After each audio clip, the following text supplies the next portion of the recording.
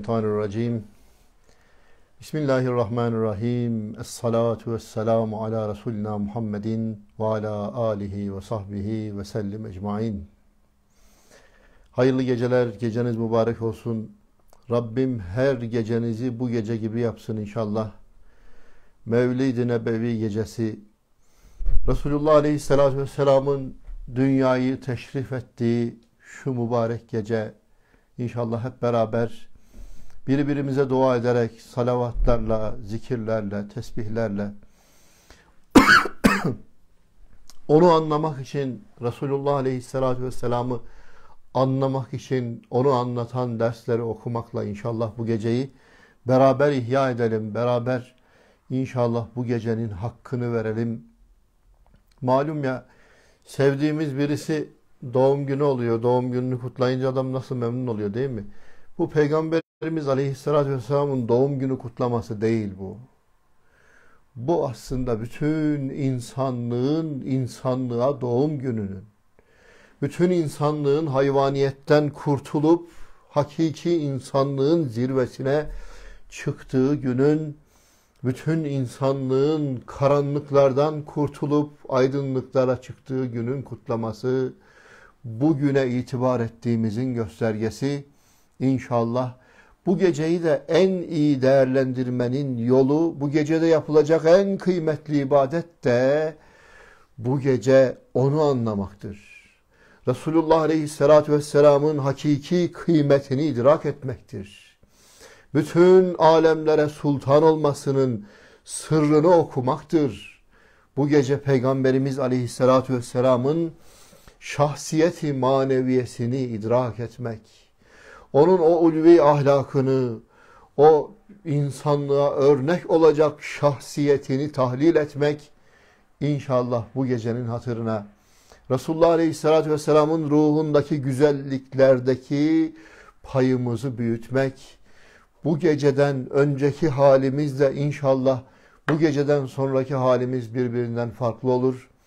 Resulullah Aleyhisselatü Vesselam'ın ahlakına, onun adeta ruhunun zirvesine bir adım daha yaklaşmış oluruz. Bu gecenin bizde bıraktığı bir iz olsun inşallah. Şimdi sizden ricamız bu saatte Türkiye'nin, dünyanın her yerinde Resulullah Aleyhisselatü Vesselam'ın dünyayı teşrif etmesi namına uyanık insanlar, insanlar bu gece bir şeyler yapmak istiyorlar. Çoğu ne yapacağını bilmiyor. Çoğu bu geceye nasıl hürmet edilir? Gecenin hakkı nasıl verilir? Resulullah Aleyhisselatü Vesselam'ı nasıl anlarız, nasıl tanırız? Bu ahir zamanda onun sünnetine yapışmak ne demektir? Çoğu insanlar bilmediklerinden bekleşip dururken şu anda şu dersi, şu hakikati Peygamberimiz Aleyhisselatü Vesselam'ın şahsiyetini, onun nübüvvetinin delillerini, onun peygamberliğinin ispatını çok gönüllere, kafalara, ruhlara nakşedelim. İnşallah hep beraber hızlıca paylaşalım. Bu gece bizim Peygamberimiz Aleyhisselatü Vesselam'a olan muhabbetimiz, onun adını tüm dünyadaki insanların kalplerine, kafalarına nakşetmek için omuz omuza beraberce yaptığımız bir seferberlik olsun. Bu gecenin hatırına, Resulullah Aleyhisselatü Vesselam'ın hatırına onu duyurmadığımız, onun adını duyurmadığımız bir kulak kalmasın. Onun şahsiyeti maneviyesinden, onun kıymetinden, onun ahlakından, onun Allah katındaki değerinden bahsetmediğimiz bir insan kalmasın inşallah. Hep beraber seferberlik yapıp paylaşalım. İnsanlara bu hakikatları hep beraber ulaştıralım inşallah. Sebep olan yapan gibidir. Hep beraber omuz omuza verip bu hakikatları tüm dünyanın kulaklarında çınlatacağız inşallah. Allah hepinizden razı olsun.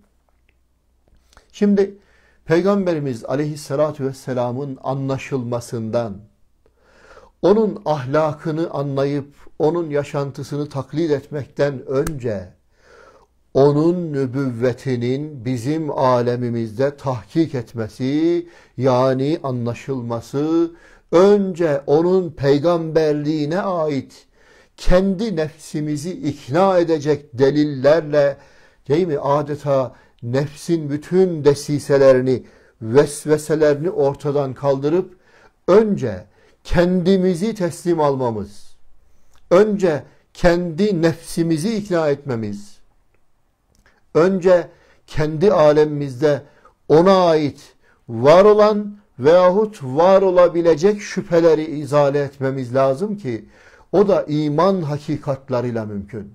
Yani nübüvvetin tahkiki. Yani adam şimdi peygamberlere iman hususunda bir sürü şüpheler, bir sürü vesveseler var. Biz ona sünnetten bahsediyoruz. Olmadı ki. Biz peygamberin nübüvveti hakkında, onun peygamberliği hakkında şüphe, şüphe duyan, onun peygamberliği hakkında kafasında bir sürü sorular, vesveseler, şüpheler olan bir adama Resulullah Aleyhisselatü Vesselam'ın izinden gitmeyi, yolundan gitmeyi anlatıyoruz. Olmadı ki.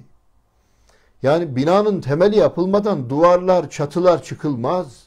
Boyası, badanası, dekorasyonu yapılmaz. Ha, önce en birinci mesele önce biz bizzat Resulullah Aleyhisselatü Vesselam'ın nübüvvetini onun peygamberliğini değil mi? hem kendimizin hem de tüm insanlığın kafasına, kalbine adeta değil mi çakmamız lazım. Şüphesiz ve vesvesesiz bir derecede ispat etmemiz lazım. Sonra zaten onun peygamberliğini bilen ha, Allah'tan onun vesilesiyle gelen mesaja kulak vermek için beni yaradan bana onu elçi olarak göndermiş onunla bana mesajlar ulaştırıyor diye hemen ona kulak kabartır ve onu tanıdıkça, onun ahlakını öğrendikçe zaten onu sevmeme ihtimali olamaz. Çünkü insanın ruhunun sevdiği, seveceği, fıtraten aşık olduğu ne kadar güzellik çeşidi varsa onda en zirve derecede bulunduğu için Peygamberimiz aleyhissalatü vesselam'ı gören kafirler, zındıklar, müşrikler bile ona aşık olmuşlar. Onun ahlakına hayran olmuşlar. Muhammedül Emin demişler. Hatta bazıları onu seyretmeye doyamayıp gizli gizli onu seyretmeye gitmişler. Cenab-ı Hak şu gecede inşallah onun nuruna bizi mazhar etsin. Onun şefaatine nail etsin. Onun anlaşılmasında bizi muvaffak etsin. İnşallah onun bizim ruhumuza vereceği sükuneti, onun bizim ruhumuza vereceği, onun şahsiyeti maneviyesinin bizim ruhumuza vereceği nuru gani gani coştursun inşallah hep beraber. Şu gecede Resulullah Aleyhisselatü Vesselam'ın nuruyla yıkanalım inşallah. Günahlarımızdan arınalım inşallah. Rabbim nasip etsin inşallah. Beşinci mesele asr-ı saadete Ceziretül Araba Ara, Ceziretül Arap meselesine dairdir. Bunda dört nükte var. Şimdi tarih bir ilimdir. Şimdi bütün ilimlerle ne yapılır? Deliller getirilir. Şimdi biz ne yapıyoruz? Allah'ın varlığına, birliğine, fenden, felsefeden, astronomiden, fizik, fizikten, kimyadan, biyolojiden deliller getiriyoruz değil mi? Niye? Çünkü inkarcılar diyor ki biz diyor bilimsel gerçeklerle ispatlanamayan, bilimsel yöntemlerle ispatlanamayan şeyleri kabul etmeyiz. Gözümüzle görmediğimize inanmayız diyorlar. Aklımıza, mantığımıza yatmayan bir şeyi kabul etmeyiz diyorlar. Ha, biz de ne yapıyoruz? Risale-i Nur, Kur'an'ın bu asrın idrakine bir dersi, bir tefsiri olduğu için bu asrın idraki de aklı gözüne inmiş. Yani gözüyle görmediğine inanamayan bir anlayışa sahip olduğu için bütün hakikatları gözde görünen şu alemden adeta gözüne sokarcasına elle tutulur, gözde görünür delillerle inkarı mümkün olmayan, şüphe ve tereddütü kaldırmayan delillerle ortaya koyduğu için nübüvvetin de Peygamberimiz Aleyhisselatü Vesselam'ın peygamberliğinin de ispatını aynı şekilde akli ve mantıki delillerle yapacak. O yüzden tarihe binip biz Ceziretül Arap dediğimiz Arap Yarımadası'na Resulullah Aleyhisselatü Vesselam'ın dünyayı teşrif ettiği o geceye, o güne, o asra, o devre gideceğiz. ve onun gelmesiyle, onun varlığıyla neler değişti, neler oldu alemde. Onun gelmesi değil mi dünyanın kaderini nasıl değiştirdi? Acaba sıradan bir beşerin, normal bir beşeri bir şahsiyetin, bir kumandanın, bir hakimin, bir sultanın, bir imparatorun gücüyle, kuvvetiyle bu işler mümkün mü? Yoksa bu zatın arkasında ilahi bir kudret mi var? Bunu aklen, mantıken tartacağız. Bir içme suyu alabilirim. Şimdi biz mesela kainatta Cenab-ı Hakk'ın tasarrufunun, iradesinin, kudretinin dışında hiçbir kudretin olmadığını, bütün mahlukatın işlerinin, icraatlarının arkasında gerçek icraat sahibi o olduğunu ha, ve bütün sebeplerin sadece bir perde olduğunu, bütün mahlukatın icraat-ı ilahiyeye yalnız bir ayna olduğunu nasıl anlıyoruz? Mesela diyor ki, hasiyetli üzüm salkımlarının hasiyeti, özelliği, güzelliği, tadı, kokusu kuru çubuğunda aranılmaz diyor. Şimdi bir bakıyoruz ki iki parmak kalınlığında bir asma çubuğuna değil mi kilolarca salkım salkım üzümler asılmış. Ne diyoruz biz? Burada Allah'ın kudretini, icraatını nasıl görüyoruz? Bu çubuğun, toprağın, suyun, sebeplerin arkasında asıl icraat sahibinin Cenab-ı Hak olduğunu hangi mantıkla biliyoruz? Bakıyoruz ki sebepler aciz, ortadaki netice mucize.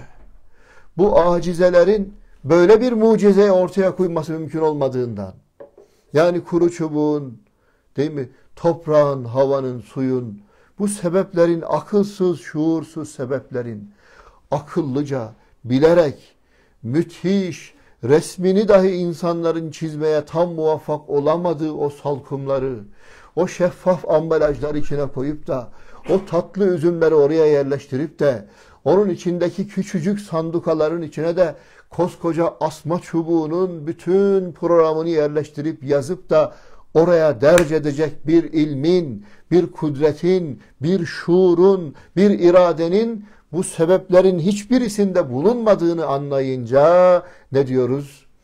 Bütün bu sebepler acize, netice ise mucize.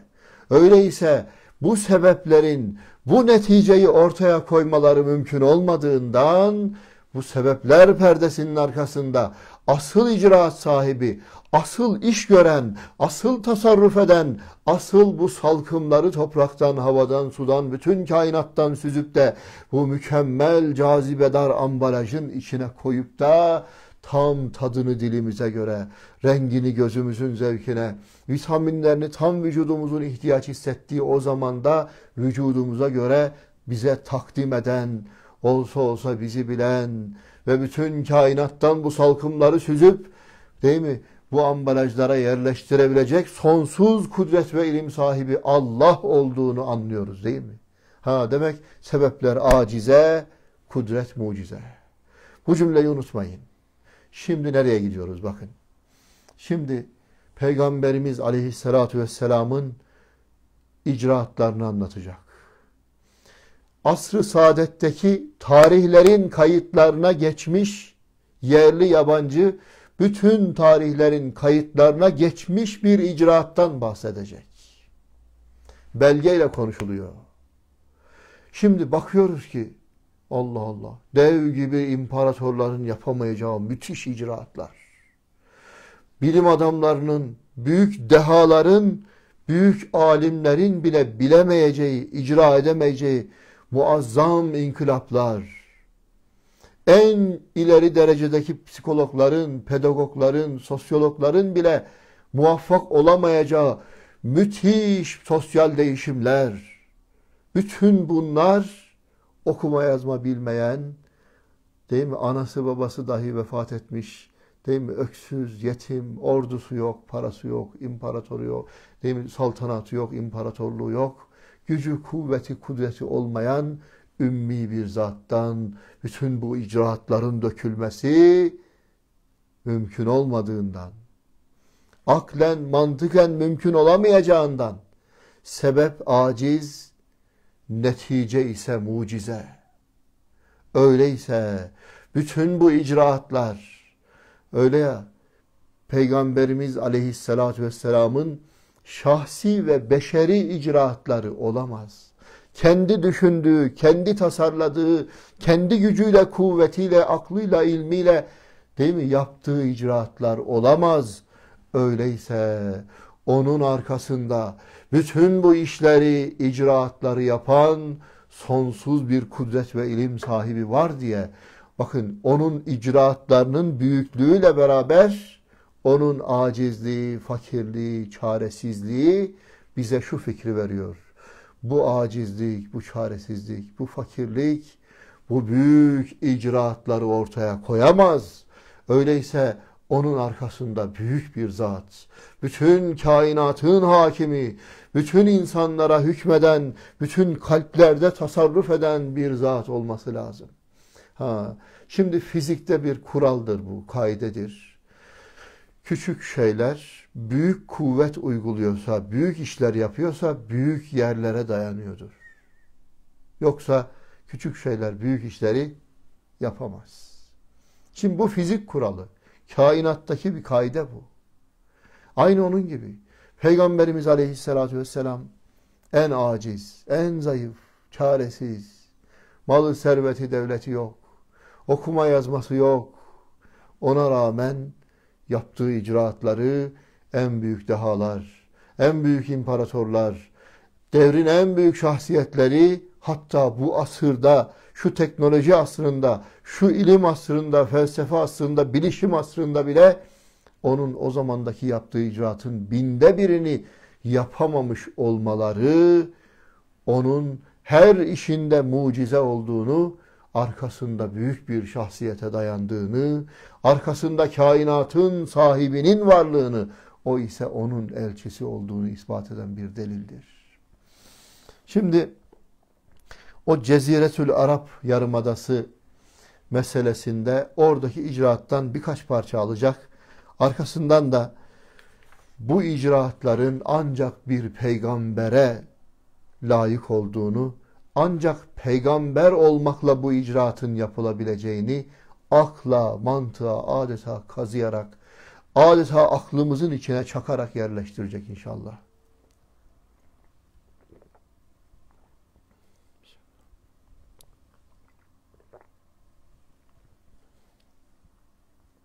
Hatta şu suyu içerken aklıma geldi.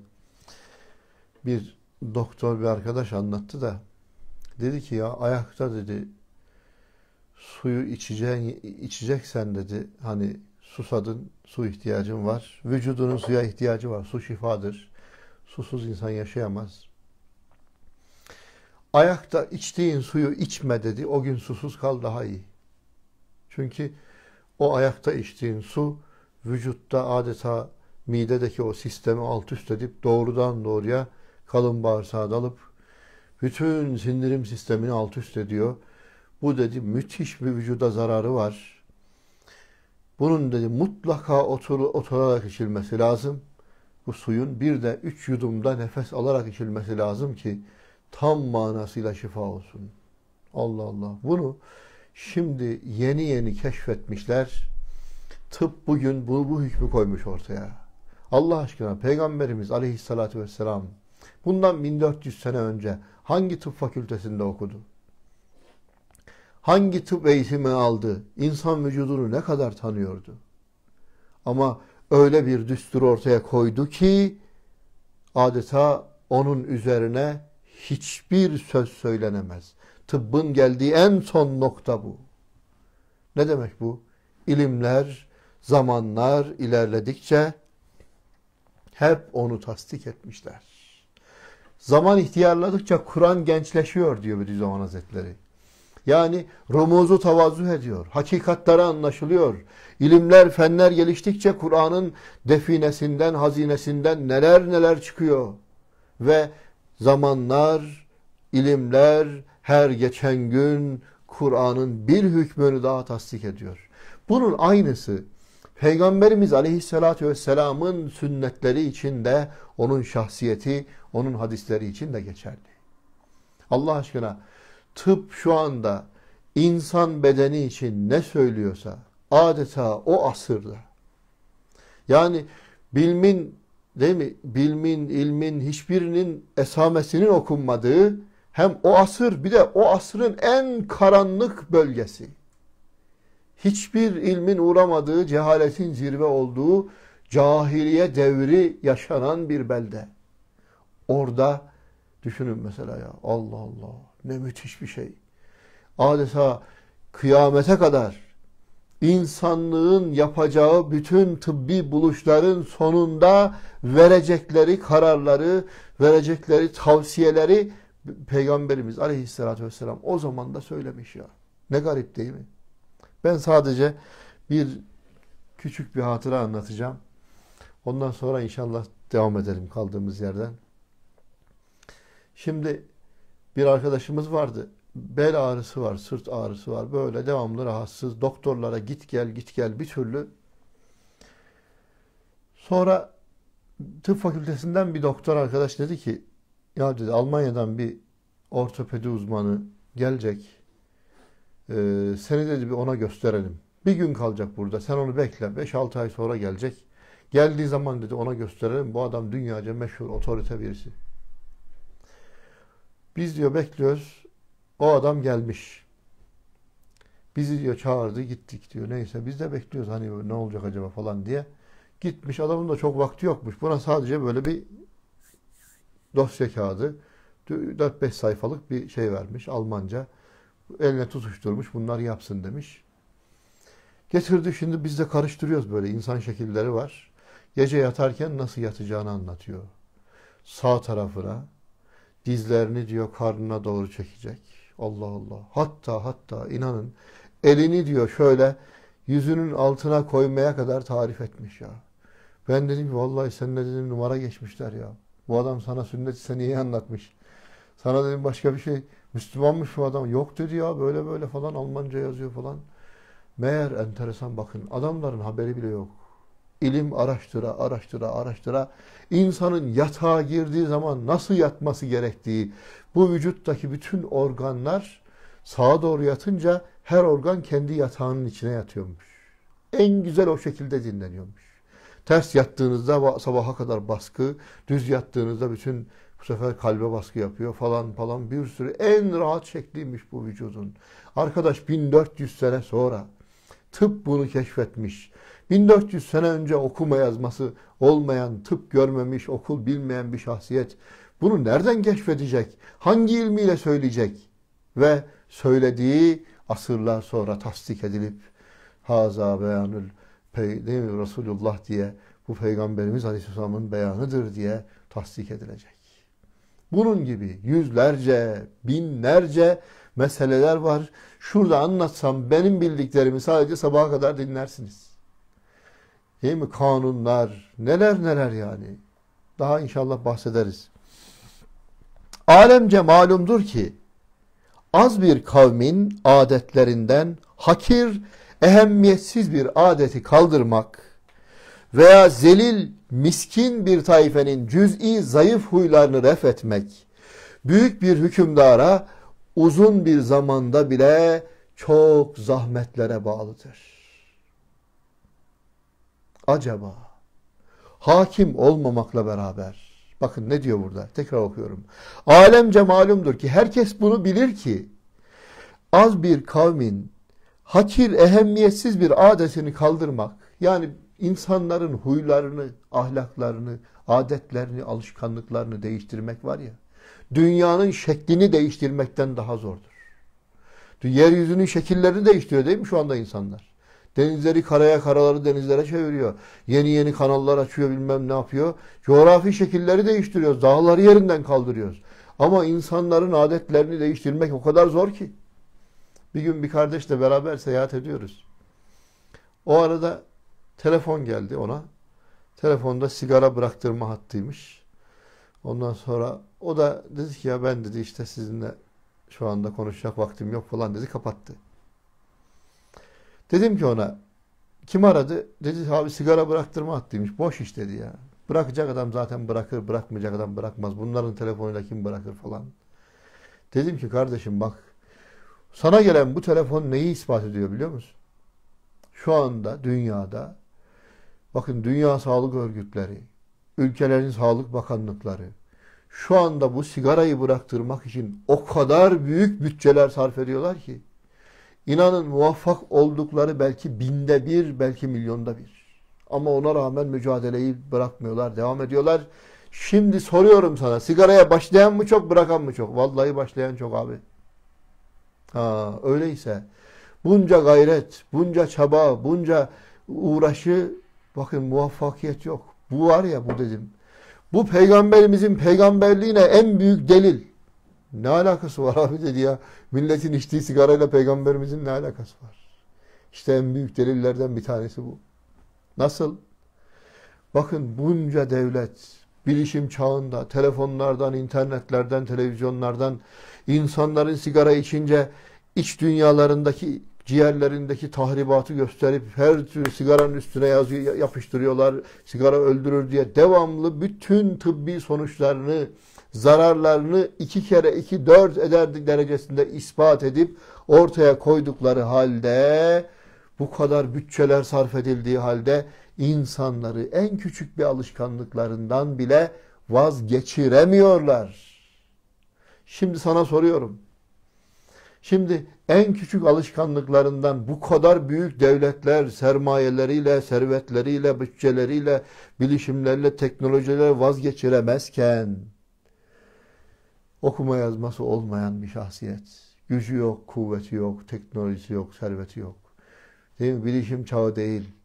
Ve en kaba, en vahşi bir kavmi ve yıllarca devam ettikleri alışkanlıklarından hem de çok dehşetli, çok sıkıntılı ahlaklarından bir anda 20 senelik bir müddet ya peygamberlik müddeti. Bu kadar 23 senelik bir pe peygamberlik müddetinde bu kadar büyük icraatları yapıp hem de insanların yüzyıllar boyunca iliklerine işlemiş alışkanlıklarını bir anda bıçak keser gibi hepsinden kurtarıp bütün o ahlakı seyyeden, kötü ahlaklardan bir anda kurtarıp en güzel ahlaklarla insanları donatıp da değil mi kıyamete kadar insanlık rekorları kıran, hala dilimize doladığımız, hala ahlaklarına hayran olduğumuz, hala onlara özenerek yaşadığımız sahabe diye bir toplumun ortaya çıkmasına vesile olması.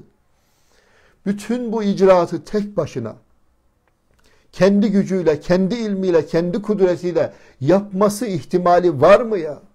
Koca devletler en büyük sermayelerle, en büyük kuvvetlerle, büyük teknolojilerle en küçük bir adeti kaldıramasın. Sen çık de ki okuma yazması olmayan, gücü kuvveti olmayan bir zat insanların hem de en vahşi, en bedevi değil mi? En cahil kısmının yüzyıllar boyunca yerleşmiş adetlerini bir anda bıçak gibi kessin atsın ya. Kan davalarını bitirmiş. Öyle düşünün ki mesela bakın içki onların artık ne olmuş? Sofralarında su gibi olmuş ya. Gece gündüz içiyorlar. Artık hayatları içkiyle. O kadar alışmışlar ki. Ve içki ayeti geldiği anda elinde böyle ağzına doğru götürenler bir anda. Ya şunu da içeyim de ondan sonra yok bıçak gibi Mekke sokaklarında, Medine sokaklarında diyor oluk oluk fıçılarla içki aktı. Ne demek bu ya? Yani o değil mi? Vahşi adetlerine mutasip o kavimdeki bu müthiş icraat en bedevi, en vahşi insanlıktan hiç nasibi olmayan böyle bir karanlık asrın karanlık insanlarından yeryüzünün kıyamete kadar göremeyeceği beşerin bütün asırlarının en saadetli asrını yaşatan, insanlığın zirvesinde insanlık rekorları kıran sahabe dediğimiz Ömer efendilerimiz değil mi?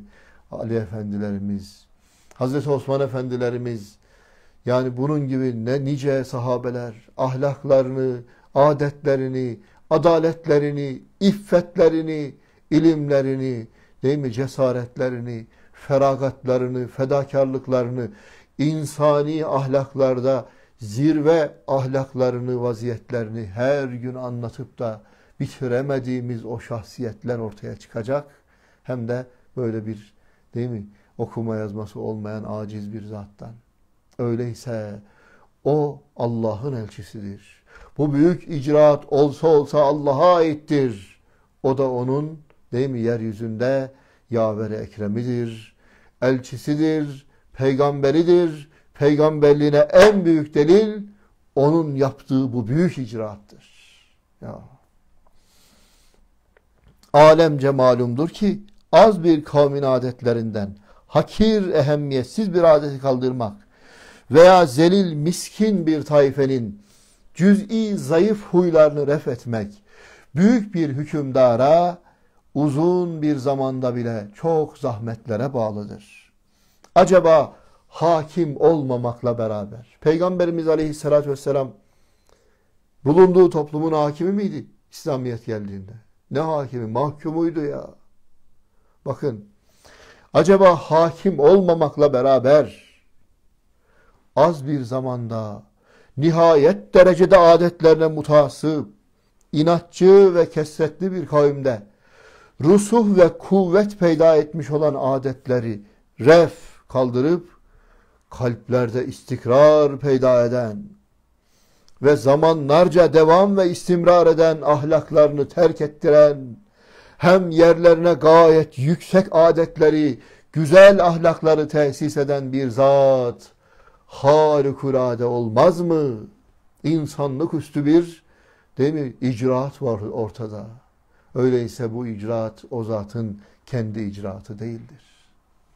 Elindeki kitap bütün asırlarda bütün alimlere parmak ısırtan hala 350 bin tefsir yazıldığı halde hala manaları bitmeyen bütün ilim erbabını hayretler içinde bırakıp yüzyıllar boyunca incelenip bitirilemeyen bir kitap okuma yazma bilmeyen bir zatın kendi yazdığı bir kitap olma ihtimali var mı? Ya bir gün birisiyle böyle muhabbet ediyoruz da ya diyor haşa Muhammed diyor bir kitap yazmış diyor. Dedim ki ya okuma kendisi okuma kitabı okumayı bilmiyor. Nereden kitabı yazacak? Sonra kitap okumayı bilmeyen bir, bir adam hadi bil diyelim ki yazdı. Onun yazdığı kitabı kim okur ki? Ha bir de düşün ki ya böyle bir kitap. Bütün düşmanları onu araştırıyorlar, araştırıyorlar, araştırıyorlar. Bir tek hatasını, kusurunu bulamıyorlar. Bütün dostları ona tefsirler yazıyorlar. 350 bin tefsir yazılıyor. Manalarını bitiremiyorlar. Böyle bir kitabı okuma yazma bilmeyen bir zatın kendi yazmış olma ihtimali var mı? Ve hiçbir kitap onunla boy ölçüşemesin. Ya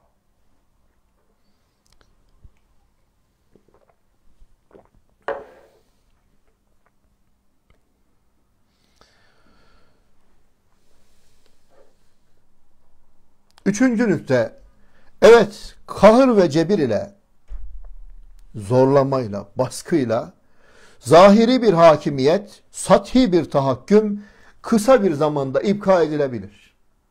Yani siz insanların fikirlerini ikna ile, akılla değiştiremediniz.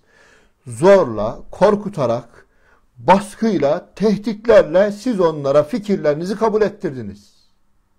Ha, ama sizin baskı bitti mi o fikirler tekrar ne yapar? Silinir, silinir gider. Ancak o baskı, o güç, o kuvvet hakimiyetini devam ettirirken olur. Yoksa bitti mi? Ya. Fakat hani askerde oluyor ya bazı adam sevmediği bir komutan ama gelmiş mecbur selam duruyor ama içinden dua ediyor diyelim inşallah. Şimdi Nedir bu? Zorla, sevmiyor, itaat etmek istemiyor ona. Selamda ve durmak istemiyor.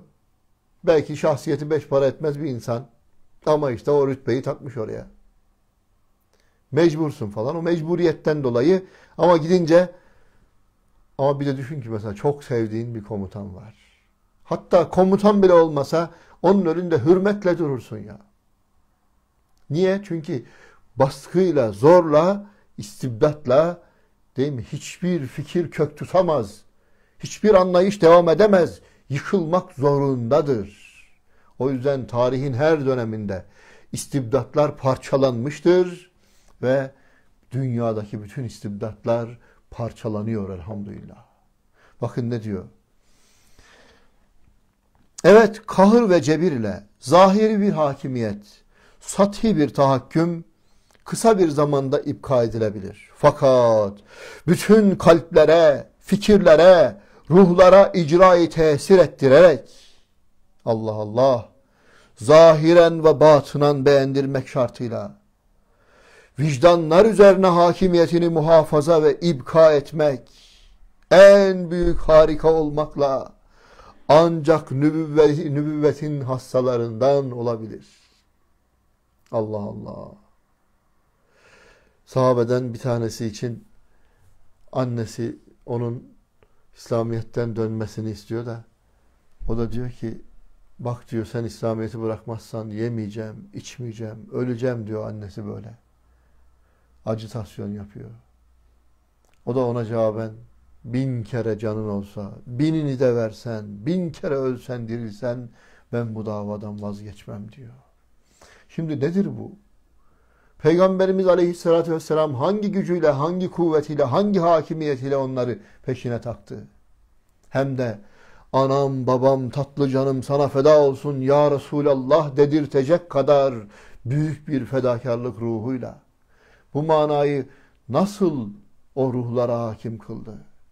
Nedir o ruhlara tesir eden sır, mana? Canlarını feda ettirecek derecede o yüksek ahlakı tesis eden o sır, o hakikat nedir? Fakat bütün kalplere, fikirlere, ruhlara icrayı tesir ederek zahiren ve batınan beğendirmek şartıyla vicdanlar üzerine hakimiyetini muhafaza ve ipka etmek en büyük bir harika olmakla ancak nübüvvetin hastalarından olabilir. Dördüncü nükte evet tehditlerle, korkularla, hilelerle efkar-ı ammeyi başka bir mecraya çevirtmek mümkün olur. Korkuyla, hileyle, tehditle insanların fikirlerini başka yöne çevirebilirsin. İnsanlara değil mi, beynini yıkayabilirsin, başka fikirleri aşılayabilirsin. Zorla yaptırdım bunu. Fakat tesiri cüz'idir, sathidir, muhakkat olur. Muhakeme-i akliyeyi az bir zamanda kapatabilir. Ha, ama Şimdi Peygamberimizin aleyhisselam icraatına bakın. Ama irşadıyla kalplerin derinliklerine kadar nüfuz etmek. Allah Allah. Hissiyatın en incelerini heyecana getirmek. Bakın şimdi. insanda nasıl şu maddi vücutta kullanılmayan kaslar ne yapar? Erir değil mi? Adam mesela bacağı kırılıyor. Sarıyorlar.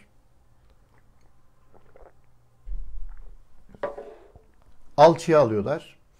Adam aylarca kullanmaya kullanmaya bakıyorsunuz inceliyor, inceliyor, inceliyor. Daha fazla kullanılmasa ölür.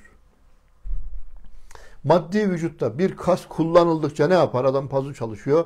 Pazular kullanıldıkça, ikaz edildikçe kuvvetleniyor değil mi? Aynen insanın ruhu da böyleymiş. Duygular kullanılmaya, kullanılmaya ölüyor. Zayıflıyor, zayıflıyor bir noktadan sonra ölüyor kullanıldıkça, kullanıldıkça, ikaz edildikçe de o duygular devamlı canlanıyor. Şimdi adam ben diyor gurmeyim diyor, gurme. Devamlı adam böyle dilinin tat duygusunu kullana kullana kullana artık öyle ki adam attığı lokmanın içinde ne var ne yok hepsini bir anda ortaya dökebiliyor. Öbür adam müzisyen. Ben de diyor müzik kulağı var diyor. Devamlı onu kullana kullana kullana kullana devamlı o işte uğraşa uğraşa yerden gelen sesi hemen notalara döküveriyor.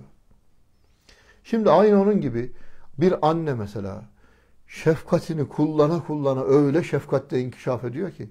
Ama çocuğu olmamış anneler onun kadar şefkat kullanamayabiliyor. Çünkü o duyguyu yaşamamış.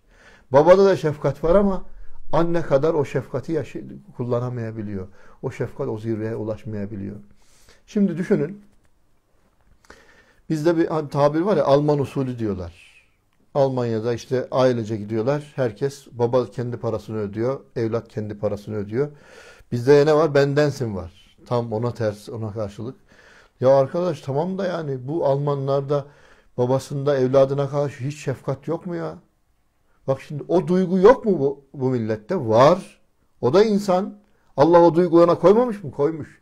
Ama asırlardır, nesilden nesile o duygu, o ferag, feragat, fedakarlık, ikram, cömertlik, o duygu kullanılmaya, kullanılmaya artık ölmüş, unutulmuş. Veya sen ona direkt bir şey desen ki bendensin desen, al ben sana ikram edeyim desen, senin yemeğini ben karşılayacağım desen garip garip bak neden bunu yaptın diyor. Anlayamıyor bile. Niye? Çünkü yok o duygu kullanılmaya kullanılmaya ölmüş. Şimdi düşünün Peygamberimiz aleyhissalatü vesselam geldiği dönemde yüzyıllar boyunca o toplum ne kadar insani duygu varsa, şefkat, adalet, merhamet, fedakarlık, feragat ne kadar insani duygular varsa hiçbirini kullanmaya, kullanmaya asırdan asıra, nesilden nesile bütün o duygular törpülenmiş, dumura uğramış, sönmüş, ölmüş. Ortada sadece hayvani duygularıyla yaşayan insan görünümlü mahluklar var. Kim güçlüyse o haklı. Öyle diyor değil mi? Akif'in, Mehmet Akif'in bir ifadesi var yani. Sırtlanları geçmişti beşer yırtıcılıkta. Dişsiz mi bir insan onu kardeşleri yerdi diyor. Yani o kadar dehşetli bir vahşetin yaşandığı, kadının parayla alınıp satıldığı, değil mi? Bak hiçbir insanın değerinin olmadığı, sadece hayvani hırslar, hayvani zevkler için insanların yaşadığı bir devre, bir dönem. Kendi kız çocuklarını diri diri toprağa gömerken vicdanları hiç sızlamayan o insanlar ya. Ne demektir bu? Yani en vahşi hayvan bile kendi yavrusunu toprağa gömer mi ya? Demek insan vahşileştiği zaman en vahşi hayvanları bile geride bırakabiliyor. Ha böyle bir toplum ve bir taraftan da hayvani duygular, nefsani duygular, şeytani duygular zirvede. Şimdi Peygamberimiz Aleyhisselam geliyor. Bir anda icraata bakın arkadaş. Böyle bir toplumun yüzyıllar boyu uyanmamış, kullanılmamış o hissiyatı bir anda canlanıveriyor. İnsanlığın en fedakarları. Uhud Savaşı'nda sahabe efendilerimiz susuzluktan dizilmişler böyle. Ölüyorlar, kavruluyorlar çöl sıcağında. Bir kırba, bir su, matara su getiriyorlar. Ona yetiştiriyor. O diyor ki kardeşim ölüyor ona götür. Ona yetiştiriyor. O diyor ki öbürü ölüyor ona götür. Öbürü ölüyor ona ona derken en sondakine götürüyor dönüp bakıyor ki hepsi ölmüş.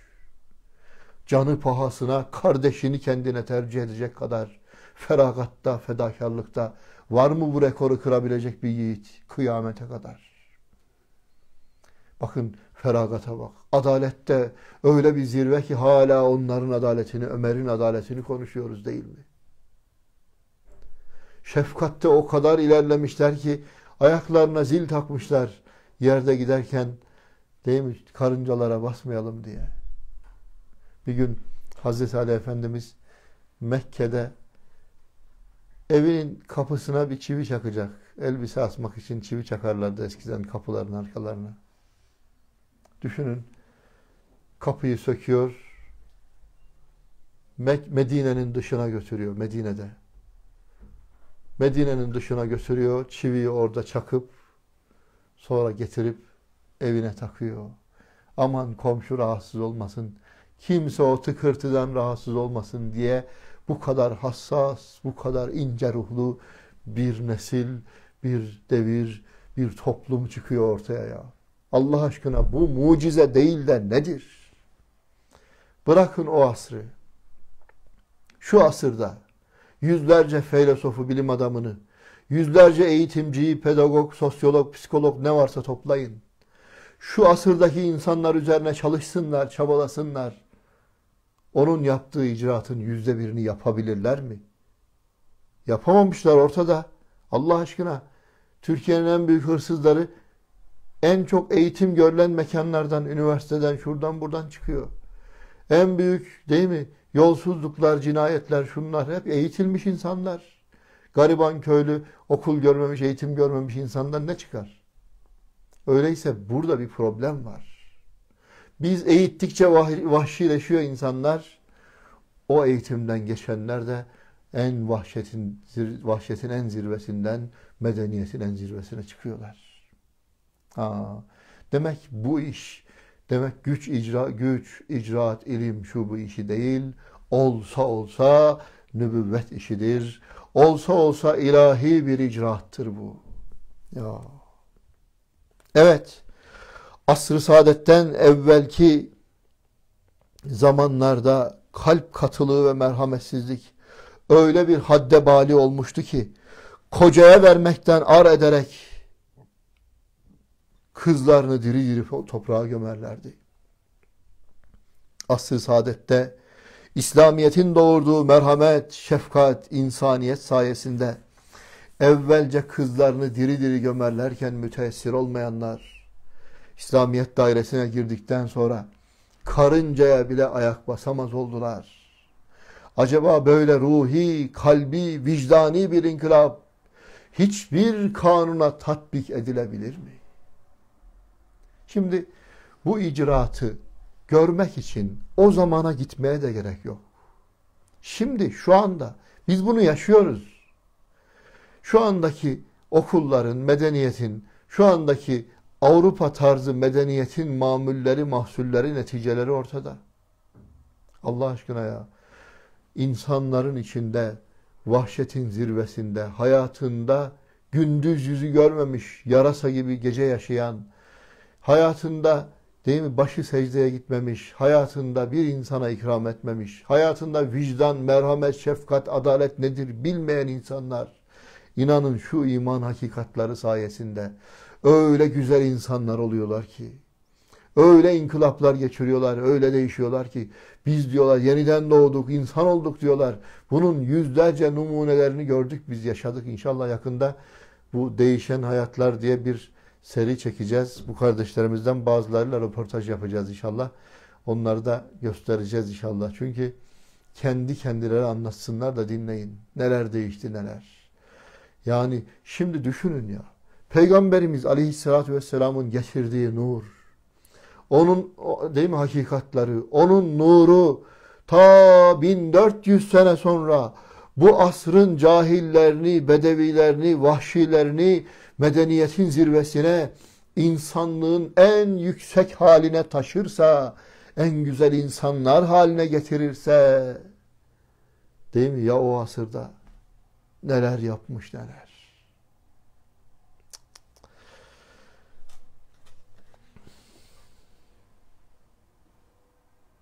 İslamiyet dairesine girdikten sonra karıncaya bile ayak basamaz oldular.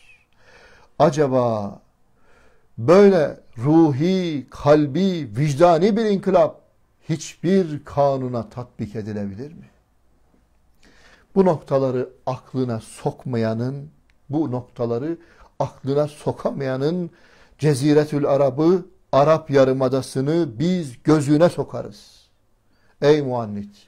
Ey Peygamberimiz Aleyhisselatü Vesselam'ın nübüvvetini kabullenememekte ısrar eden inatçı! Ceziretül Arab'a git. Arap Yarımadası'na hayalen tarihin sayfalarına bin git. En büyük filozoflardan yüz taneyi de intihap et. Bildiğin en iyi eğitimcilerden de bilim adamlarından da yüz taneyi götür. Orada onlar da ahlakın ve maneviyatın inkişafı hususunda çalışsınlar.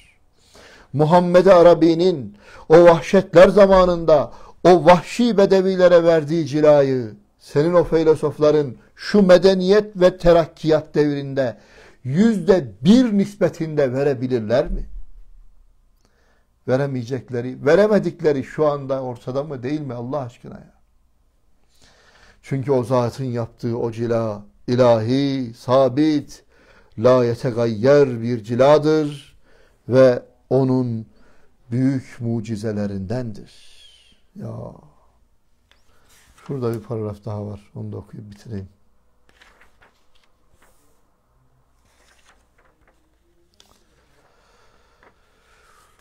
Bu nükteler ve bu noktaları nazara al. Muhammed-i Haşimi aleyhissalatu vesselama bak.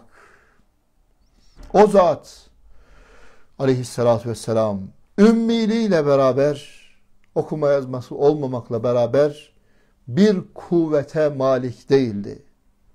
Ne onun ne de ecdadının bir hakimiyetleri sepkat etmemişti. Bir hakimiyete, bir saltanata meyilleri de yoktu. Böyle bir vaziyetteyken, mühim bir makamda, tehlikeli bir mevkide, tehlikeli bir mevki dedi, düşünün yüzyıllar boyunca taptıkları putlarını reddetmek demek, adeta kendi canını tehlikeye atmak demek. En tehlikeli bir vaziyette, tehlikeli bir mevkide, kemal-i vüsuk ve itminan ile büyük bir işe teşebbüs etti. Dünyanın inancını, dünyanın itikadını, dünyanın ahlakını, dünya insanını değiştirmeye teşebbüs etti. Tüm dünyaya tek başıyla meydan okudu. Bütün efkarı ammeye galebe çaldı. Bütün ruhlara kendisini sevdirdi. Bütün tabiatların üstüne çıktı. Allah Allah. Hatta Bizans imparatoru Suriye açıklarında İslam ordularıyla karşılaşınca o zaman vezirine soruyor diyor ki ne oldu bu Araplara diyor. Bir anda diyor dünyanın en büyük devletlerine kafa tutar oldular diyor. 5-10 sene önce, 20-30 sene önce daha bunlar çölde fare yiyen insanlardı. Ne oldu bunlara? O da diyor ki bunların içinden peygamberlik iddia eden bir zat çıktı. Ne olduysa ondan sonra oldu. Her şeyleri değişti bunların diyor. Hakikaten Resulullah Aleyhisselatü Vesselam'dan önceki Arapların hali bir de sonra çok kısa bir zamanda dev gibi imparatorlukları, Sasanileri, değil mi Mısır'ı, İran'ı alt üst eden dev gibi imparatorluklar yıkan, değil mi Roma İmparatorluğunu yerle bir eden böyle büyük dev gibi bir devletin ortaya çıkması. Tarihin hiçbir devrinde en zeki, en muktedir, en akıllı, en kurnaz imparatorların, insanların, büyük şahsiyetlerin bile milyonda birine muvaffak olamayacakları büyük bir icraat değil mi? Nasıl okuma yazması olmayan, devleti serveti olmayan, gücü kuvveti olmayan, ordusu imparatorluğu olmayan bir şahsiyetin böyle bir şeye muvaffak olması mümkün mü? Öyleyse o icraat doğrudan doğruya kainatın sahibi Rabbimize ait bir icraattır. O da Resulullah Aleyhisselatü Vesselam da onun elçisidir. Ya onun yaveridir. Onun namına icraat yapıyor. Elhamdülillah. Ya şurayı tekrar okuyacağım. O noktalar, o, o zat ümmiliğiyle beraber bir kuvvete malik değildi. Ne onun ne de ecdadının bir hakimiyetleri sebkat etmemişti. Bir hakimiyete, bir saltanata meyilleri de yoktu.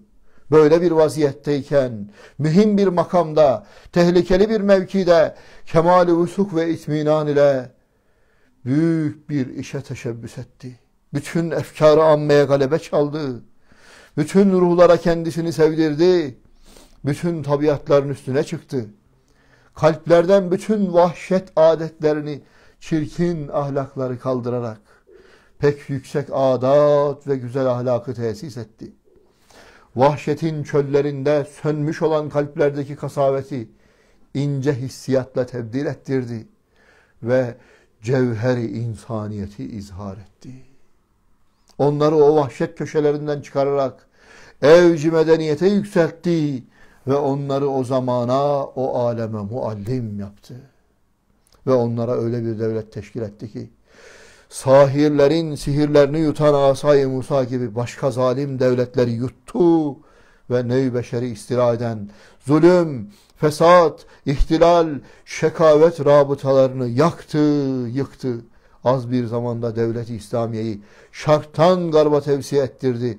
Acaba o zatın şu macerası onun mesleği hak ve hakikat olduğuna delalet etmez mi? Rabbim onun şefaatine nail etsin. Onun ahlakını yaşamayı nasip etsin. Onun o güzel ahlakını bizim üzerimizde Cenab-ı Hak inşallah tesis etsin. Onun dinine hizmet etmeyi nasip etsin inşallah. Şimdi okunan çok hatimler var. Çok salavatlar var. Bunların duasını da inşallah bu gece hep beraber yapalım. Onun hatırına Rabbimize iltica edelim. Onun adı hürmetine, onun yüzü suyu hürmetine günahkar ellerimizi kaldırıp, günahkar dillerimizle affımızı inşallah beraber yalvaralım. İsteyelim, Rabbimize niyaz edelim. Hep beraber Rabbimiz hepimizi inşallah affıyla, merhametiyle bu gece masum çocuklar gibi tertemiz bir vaziyette inşallah huzuruna alsın. Bu gece bizi manen temizlesin.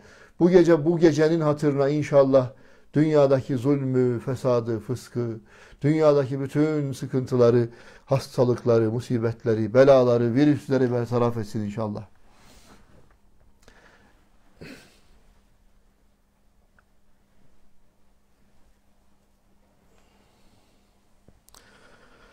أعوذ بالله من الشيطان الرجيم.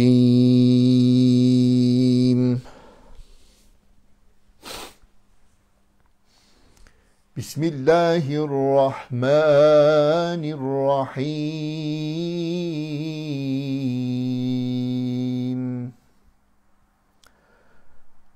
قل هو الله أحد؟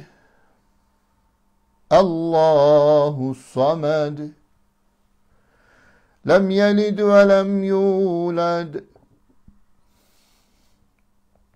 ولم يكن له كفوا أحد بسم الله الرحمن الرحيم قل هو الله أحد الله الصمد لم يلد ولم يولد ولم يكن له كفوا أحد بسم الله الرحمن الرحيم قل هو الله أحد الله الصمد لم يلد ولم يولد ولم يكن له كفوا أحد Allahu Ekber. La ilahe illallah Allahu Ekber. Allahu Ekber ve lillahil hamd. Allahu Ekber, Bismillahirrahmanirrahim. أعوذ برب الفلق من شر ما خلق ومن شر غاسق إذا وقب ومن شر النفاثات في العقد ومن شر حاسد إذا حسد الله أكبر بسم الله الرحمن الرحيم قل أعوذ برب الناس ملك الناس إله الناس من شر الوسواس الخناس الذي يوسوس في صدور الناس من الجنة والناس. الله أكبر. لا إله إلا الله. والله أكبر. الله أكبر ولله الحمد الله أكبر بسم الله الرحمن الرحيم الحمد لله رب العالمين الرحمن الرحيم مالك يوم الدين إياك نعبد وإياك نستعين. اهدنا الصراط المستقيم. صراط الذين أنعمت عليهم. غير المغضوب عليهم ولا الضالين. آمين.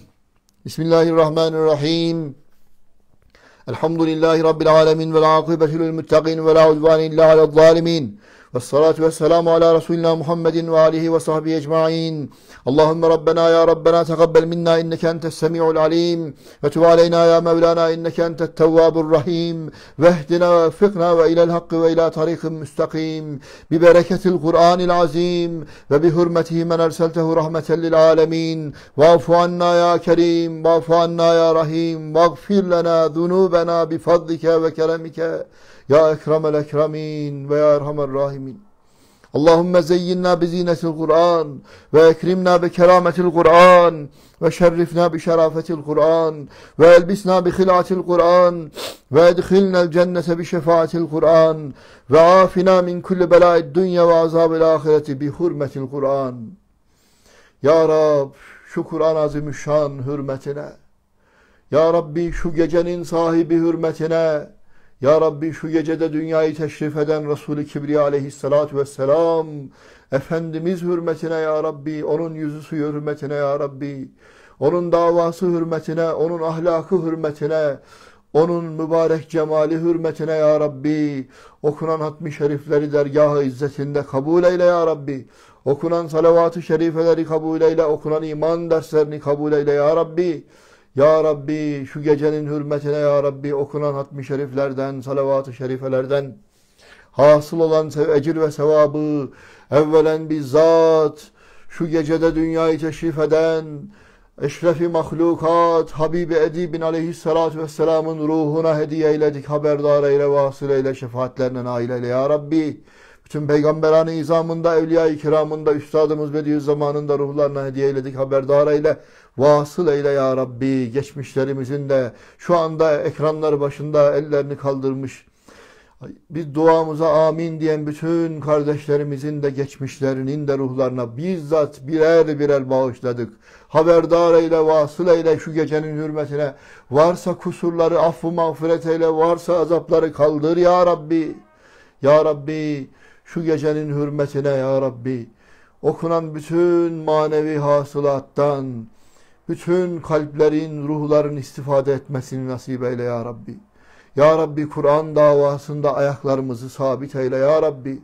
Ya Rabbi kendimize güvenemiyoruz ya Rabbi. Bugün ne olduk, yarın ne olacağız bilemiyoruz ya Rabbi. Ya Rabbi senin davanda bizleri sabit kadem eyle ya Rabbi. Kur'an-ı Azimüşşan'ı ya Rabbi Resulü Kibriya aleyhissalatü vesselamın davasını dünyanın dört bir yanına taşımayı bizim ecdadımıza nasip ettin ya Rabbi. Yeniden o ecdadın evlatları olan bizlere de nasibi müyesser eyle ya Rabbi.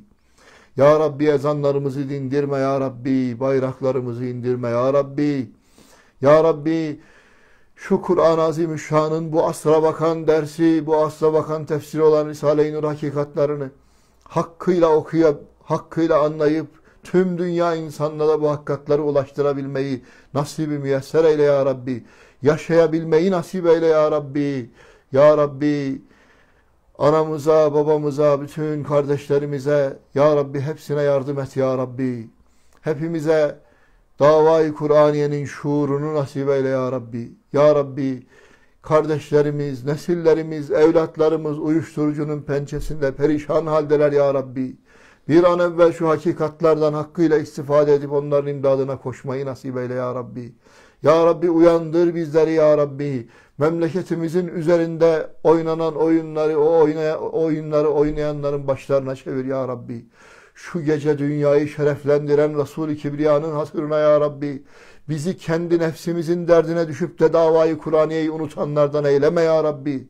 Kendi dünyamızın peşine düşüp de davanın peşinden ayrılanlardan eyleme ya Rabbi. Ya Rabbi bizi nefsin elinde oyuncak etme ya Rabbi. Ya Rabbi nefsani, şehvani arzularımız senin elinde ya Rabbi. Biz onlara hakim gelemeyiz, galip gelemeyiz. Sen bilirsin ya Rabbi. Sana havale ettik ya Rabbi. Ya Rabbi nefsimizin terbiyesinden aciziz ya Rabbi. Sana havale ettik ya Rabbi. Sen bilirsin ya Rabbi. Sen bizi nefsin pençesinden kurtar ya Rabbi. Ya Rabbi günahlarımız var. Bir yığın günahla geldik ki bu geceye ya Rabbi. Bu gecenin sahibi hatırına bu gecede dünyayı teşrif eden Resulü Kibriya hatırına affınla, mağfiretinle, merhametinle muamele eyle ya Rabbi. Ya Rabbi bizi hasetten, kıskançlıktan, senin şanına, dinine yakışmayan bütün kötü ahlaklardan bizi kurtar, muhafaza eyle ya Rabbi. Günahlarımızın çirkin arkadaşlığından bizi kurtar ya Rabbi. Ya Rabbi ruhumuzu, kalbimizi, Ya Rabbi sinemizi genişlendir Ya Rabbi. Amin, amin, amin Ya Rabbi. Zulüm altındaki, işkence altındaki, perişaniyette bulunan, mahkumiyette bulunan bütün kardeşlerimizi, tüm dünyadaki bütün sıkıntı çekenleri bir an evvel kurtar ya Rabbi. Dünyanın her yerinde akan Müslüman kanı ya Rabbi, dindir ya Rabbi. Ya Rabbi, dünya bu çapında bütün Müslümanlar üzerinde oyun, oyun oynayanların oyunlarını başlarına çevir ya Rabbi. Ya Rabbi şu virüsü, şu belayı, şu musibeti bir an evvel başımızdan kaldır ya Rabbi. Ya Rabbi şu hastalıktan tüm dünyayı ümmeti Muhammed'i halas eyle ya Rabbi. Amin, amin. Bi hürmeti Taha ve Yasin. Velhamdülillahi Rabbil alemin. El Fatiha.